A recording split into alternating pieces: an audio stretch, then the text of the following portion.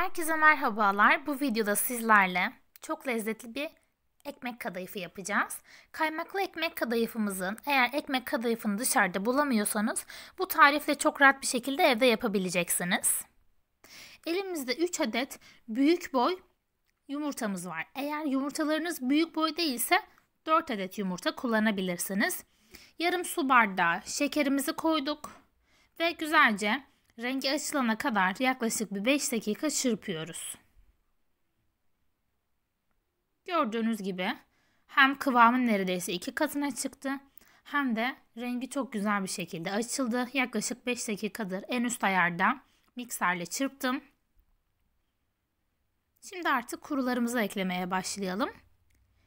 İlk önce 2 kahve fincanı un ekliyorum. Kahve fincanım büyüktür arkadaşlar. Buna dikkat edin lütfen. Eğer küçükse kahve fincanınız kontrollü bir şekilde 2,5 ya da 3 fincan da ekleyebilirsiniz. Unumu güzelce eledikten sonra bir paket vanilya ve bir paket kabartma tozumu da yine süzgecimin içine alıp güzelce eleyeceğim.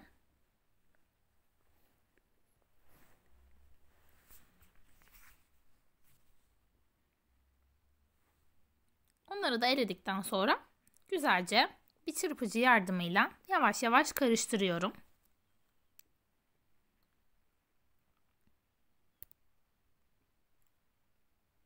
Gördüğünüz gibi bu şekilde boza kıvamını aldıktan sonra artık kek kalıbımıza dökebiliriz. Kelepçeli kek kalıbımızın dibine güzelce yağlı kağıt serdikten sonra içine hazırladığımız kek harcımızı ilave ediyoruz. Önceden ısıttığımız 200 derecelik fırınımıza alacağız kekimizi. 200 derecede yaklaşık 20-25 dakika kadar kontrollü bir şekilde pişirin. Kabardıktan sonra iyice kabardığını eminseniz çatal yardımıyla içinin pişip pişmediğine bakabilirsiniz. Şimdi gördüğünüz gibi artık kekimiz güzel bir şekilde kabardı. Biraz soğumasını bekliyoruz. Daha sonra kalıptan çıkaracağız. 15 dakikadır soğudu. Artık güzelce kalıptan çıkardık. Altındaki yağlı kağıdı da çıkaralım. Gördüğünüz gibi o kadar güzel ve yumuşak bir pandispanya oldu ki o yüzden rahat bir şekilde yağlı kağıttan da çıktı. Eğer ekmek kadayıfının ekmeğini bulamıyorsanız, temin edemiyorsanız bu yöntemle çok kolay bir şekilde ekmek kadayıfı yapabilirsiniz. Şimdi hazırladığımız kekimizi soğuduktan sonra dikkatli bir şekilde ikiye bölme işlemini gerçekleştiriyoruz.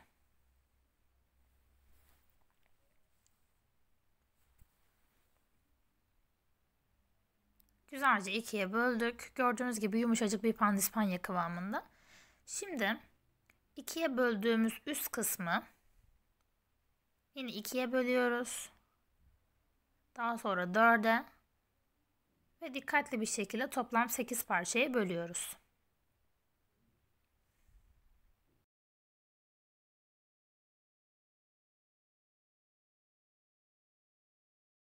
Şimdi kekimizin işlemini tamamladık. Artık şerbete geçelim. Tavamızın içine toplam 1,5 su bardağı şekerimizi alıp karamelize olana kadar ocakta pişiriyoruz.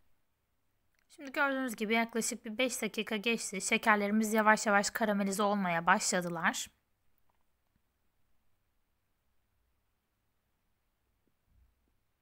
Şimdi yaklaşık bir 10 dakika geçti. Artık yeterince karamelize olmalarına az kaldı.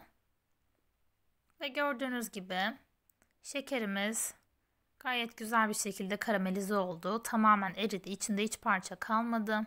Şimdi üzerine toplam 2 su bardağı su ilave edeceğiz. İlk başta su ilave edince bir anda bu şekilde dumanlar çıkacak ve şekeriniz sertleşecek. Daha sonra böyle yavaş yavaş kaldırmaya çalışarak şekerinizi tekrar eritebilirsiniz. Toplam 2 su bardağı su kullandık arkadaşlar. Ben bir su bardağını gösterdim çünkü çok duman çıktı. Daha sonra ikinci su bardağını da koyduk. 1,5 su bardağı toz şekere 2 su bardağı suyumuzu koyduk ve gördüğünüz gibi artık güzel bir şekilde kaynadı. Altını kapattık.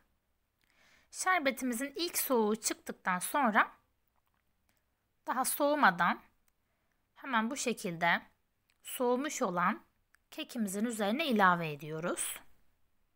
Yani kekimiz soğumuş şerbetimiz hala sıcak olmuş olacak.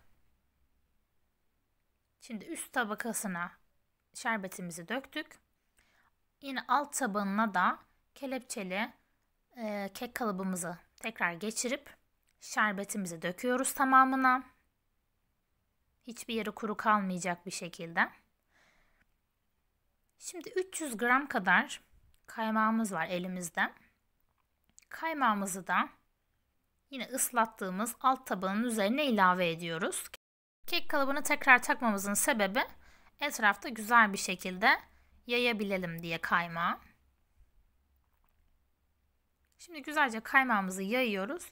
Çok az bir miktar bıraktım üst tarafına süs olarak koymak için. Geri kalan hepsini içine koyduk bu şekilde. Gördüğünüz gibi eşit bir şekilde yaydık. Şimdi bir bıçak yardımıyla etrafını çıkarıp tekrar çıkarıyoruz kek kalıbından. Üzerine de artık dilimlediğimiz ve şerbetlediğimiz üst tabanı ilave ediyoruz.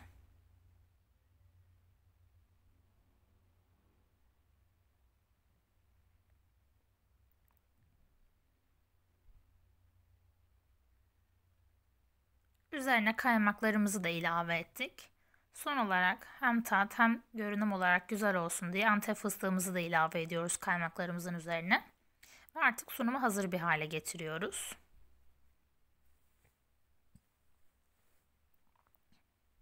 Gördüğünüz gibi sunumu hazır bir hale geldi. Çok da lezzetli görünüyor. Eğer dışarıdan alsaydınız en fazla bu kadar lezzetli olurdu. İnanabilirsiniz buna. Mutlaka evde bunu deneyin. Çok beğeneceksiniz ve bol bol yapacağınız bir şerbetli tatlı olacak. Şimdi dilimlere kesip sizin için iç kısmını ve bir doku testini de yapmak istiyoruz.